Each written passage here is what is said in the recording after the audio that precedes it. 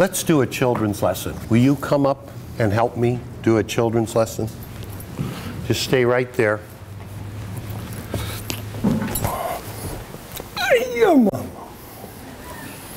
What's your name? Savannah. Savannah. Say good morning to Savannah.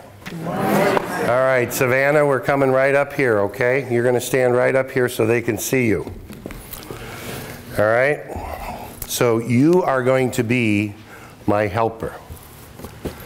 So, what is this, folks? What kind of box? It's a shoebox. What do you think is inside of the shoebox? Anybody? Shoes? Well, Savannah is going to be the only person who knows what's inside this shoebox, but she's not going to tell you until I say you can. Okay?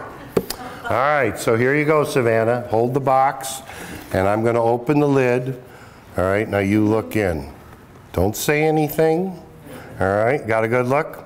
Mm-hmm. All right. Now, hold on to the box. Savannah is the only one here who knows what's in the shoebox. So we would call her an eyewitness. Do you know what an eyewitness is? What's an eyewitness? This is not a rhetorical question. Come on, give me an answer. Someone who has seen something that others have not seen. You understand that? Mm-hmm. All right? So, an eyewitness can be like if mom and dad see an accident on the, mm-hmm. on the street, the police will stop them and mm-hmm. say, What did you see? Mm-hmm. Right? So they'll tell them what they saw, right? Mm-hmm. So you are an eyewitness. Okay. All right? Mm-hmm. You're the only one who knows what's in that shoebox. Don't tell anybody. Hmm. Here's the point we have eyewitnesses about the life of Jesus. They were eyewitnesses, they were there. They witnessed with their eyes and their ears the life of Jesus. They witnessed his death on the cross and resurrection. All right, stay focused with me. Don't worry about mom and dad. All right?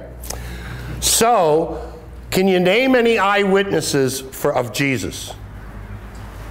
Matthew. Matthew. Lu- well, Luke wrote later. Name me some other ones. Peter. Peter and John and James and the women, right? Mm-hmm. They saw, they were with Jesus during his ministry. They were there through his death on the cross and they saw him risen from the dead, right? So now those eyewitnesses have written down for us what they saw. So we, as we come to Holy Week, we believe what they wrote, right? Correct? All right. Now, Savannah, hmm. it's your turn to tell them. Let's open the box. We got to make this dramatic. Tell them what is in the box. Actually, go ahead. Flowers. Flowers. Why don't you pull it out? There's the flowers. Anybody guess flowers? No. Yeah, you did. Yeah. Okay, thank you. So that's the point, okay? We believe what the eyewitnesses wrote about Jesus in his life, death, and resurrection. All right. Thank you. Let's give her a thanks. Take out your Bibles and turn to uh, Philippians chapter 2, which you will find on page 1827.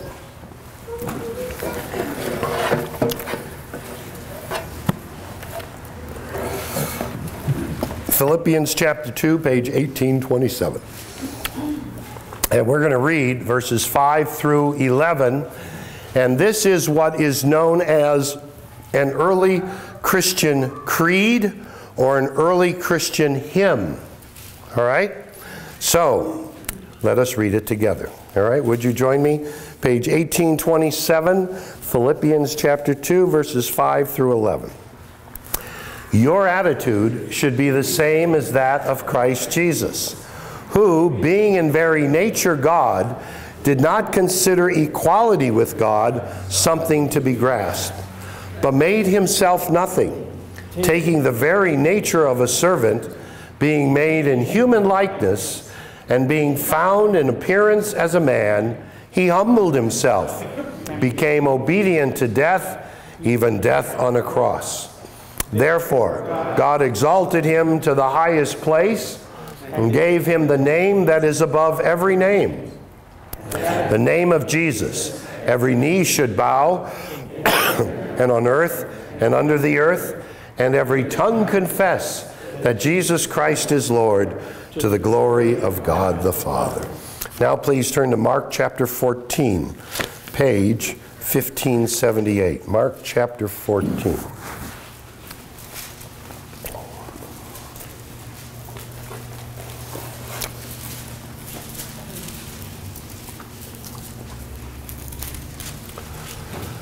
Palm Sunday, of course, is the gateway to Holy Week. And this week, we're going to take all of the readings from St. Mark's Gospel.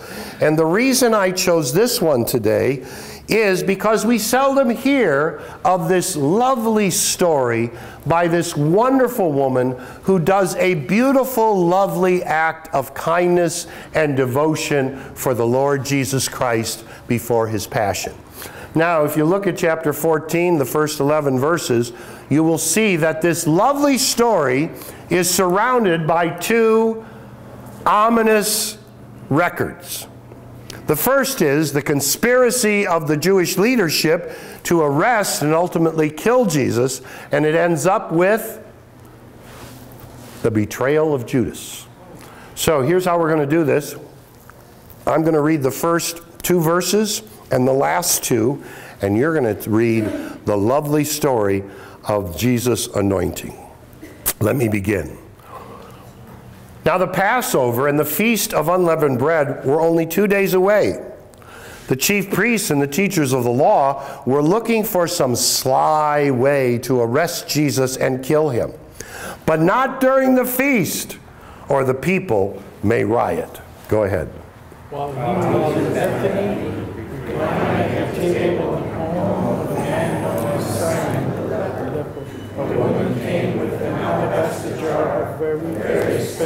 perfume made of pure nard.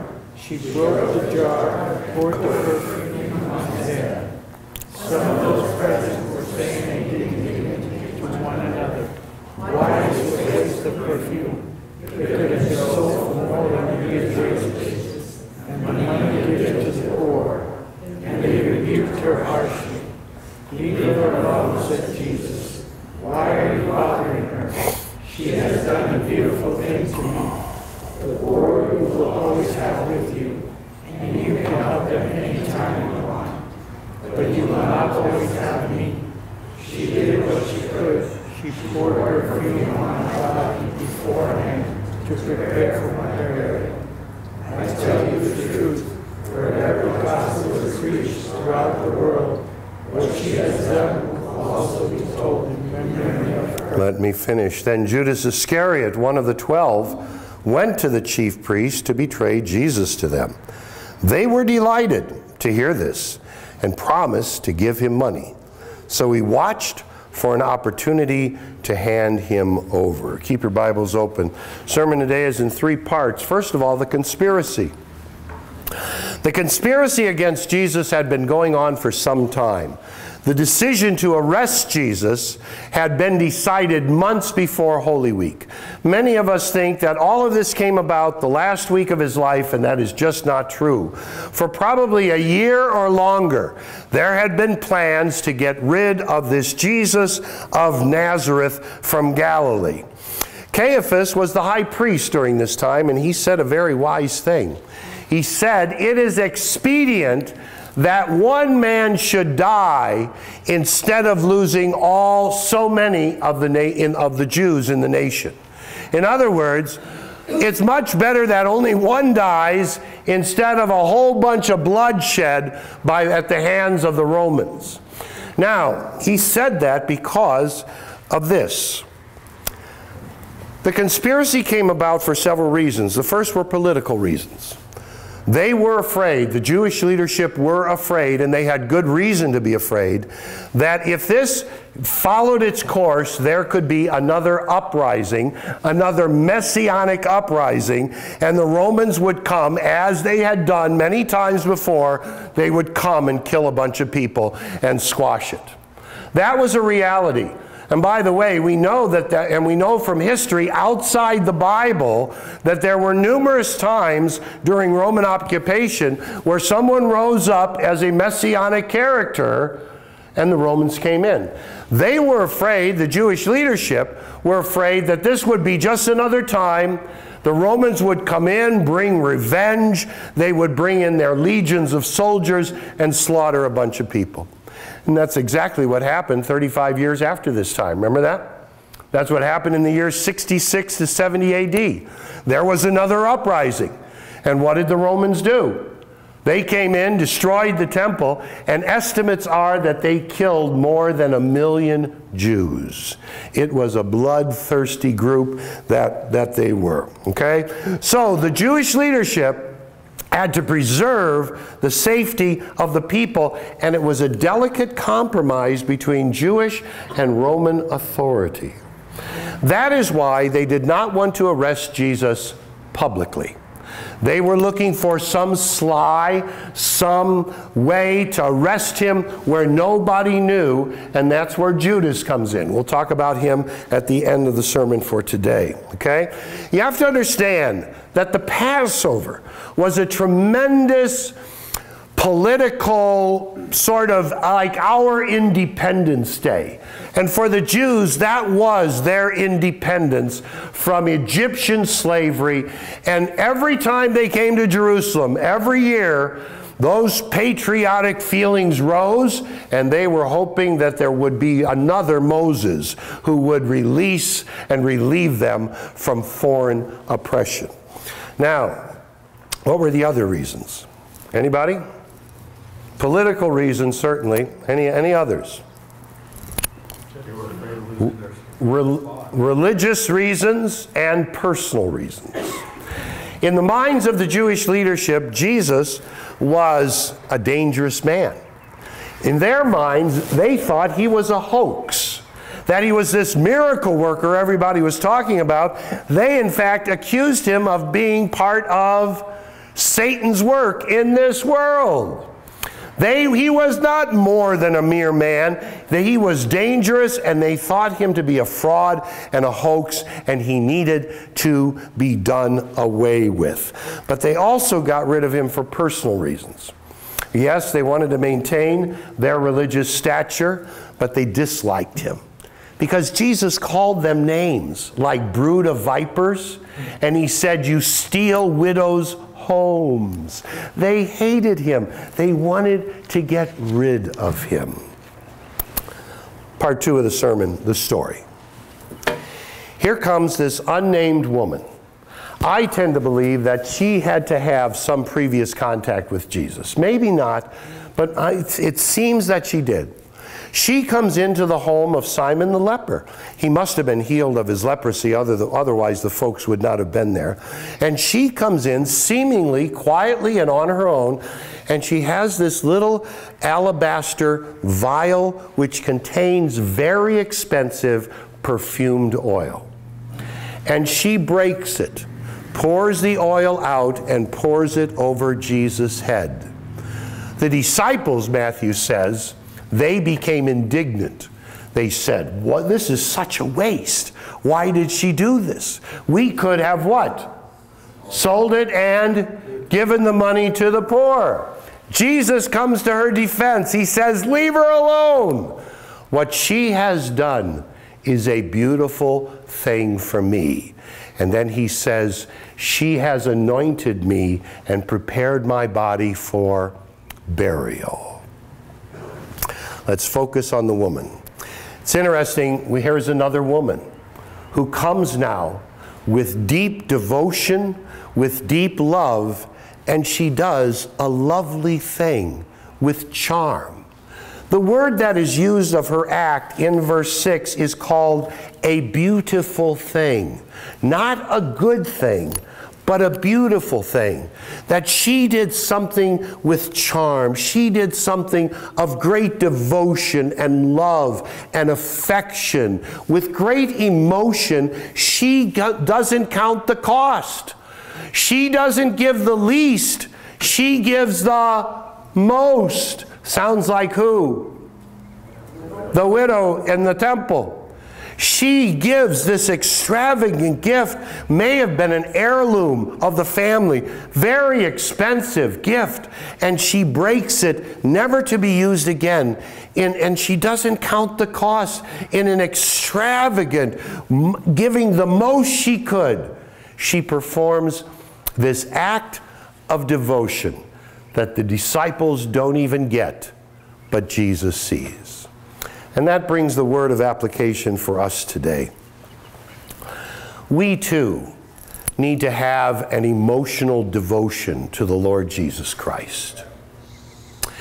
And I'm afraid that one of our problems in American Christianity is that for many of us, it's a cerebral connection with the Lord Jesus. As we enter Holy Week, I want to challenge you that this week you connect on a personal, emotional level with the Lord Jesus Christ. I'm preparing my sermons now for the next for this week, and I'm going through his trials and with under the Sanhedrin and Pilate and all of that and the crucifixion. And you know, I'm going to tell you, every year I go through this, there for me there is this deep emotional connection of what he went through for me and for the world. And I think many times we give Jesus our little, what is least. We count the cost. We count the cost of what is this going to cost me in time and energy. And many times we don't give Jesus the best. We don't give him the best of our emotions and the best of our service and devotion. We give him the least, the little. And you know where it shows itself? In our, in our half hearted worship and praise. It shows itself in our half hearted service to Him in His kingdom. It shows itself in, well, when I have time, then I'll think about Him. And I want to say to you this week journey to the cross, be in God's house, read the Passion. And if you have an opportunity, watch a movie. I want to invite you to watch this movie tonight on, on the National Geographic Channel. It's at 8 o'clock. It's entitled, anybody know? Killing Jesus. You know, there are some movies about Jesus that I just absolutely hate because they make him to be a, fa a fake character. Remember, remember the uh, Passion of the Christ a couple years ago? That was probably very accurate, folks. And you know, we tend to think of it cerebrally, but we have to connect with the person of Jesus who goes to Jerusalem, is spit upon, hit, mocked, ridiculed, rejected, suffers this horrendous crucifixion because of his love for the Father and because his love for you and me. And I want to ask you this week, this year, this but this week, take the time to have that deep devotional connection to the Lord Jesus Christ. And not a shallow, not a little, not when I have time, but let it be real to you that affects your life. Part three of the sermon is Judas. In contrast to this woman, with this deep devotion, now comes Judas and his treachery. Judas doesn't just run away from Jesus. He doesn't just abandon him. He what? He takes the offensive to what? To betray him and have him killed. That's the deal. Why does Judas do this? Why does Judas do this? Let's ask this side. The money? No. He thinks Jesus is going to rise up and retaliate and be the Messiah, the soldier. Okay. So perhaps he's trying to force Jesus' hand, put him in a position where he's forced to follow or he's forced to use divine power. Money, That's a good one. Anybody else? I think Judas thought that the Lord was supposed to be the king, a human king. So you think he was disappointed in Jesus? Yes. Yeah, I think tho- all those answers are probably in the mix. A number of people that I, uh, the sources that I use said this. By the way, it also appears Judas told the high priest a lot about Jesus. Has Judas given up on Jesus? Has Jesus betrayed what Judas thought was the cause of bringing in the mighty kingdom of God? Jesus pursues a pointless course toward what? Toward death. A pointless cause. Perhaps Judas was disappointed in Jesus' failure to use force. Maybe he was disillusioned and thought of Jesus as a false prophet or false Messiah. Perhaps he was trying to force his hand, or maybe it was just about the money. What would 30 pieces of silver get you in Jesus' day? A new suit of clothes. I think it was deeper than that. I think I wonder, you know, it's one of the one of the great questions of the passion. It probably is a bunch of these things, and I think it was much more than the money. So this week, spend time with the Lord Jesus Christ. Spend time with his word. Read the passion. Make that deep personal connection to the Lord Jesus Christ as your personal savior. In Jesus' name, amen.